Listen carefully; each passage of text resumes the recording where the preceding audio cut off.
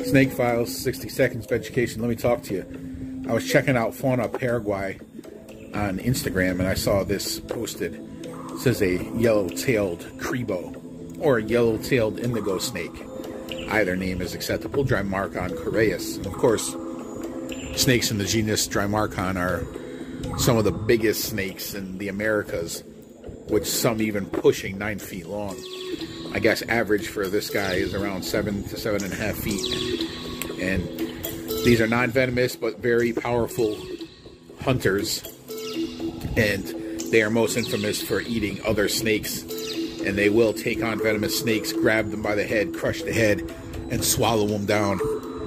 And uh, with ease. And these are very, very powerful and beautiful snakes.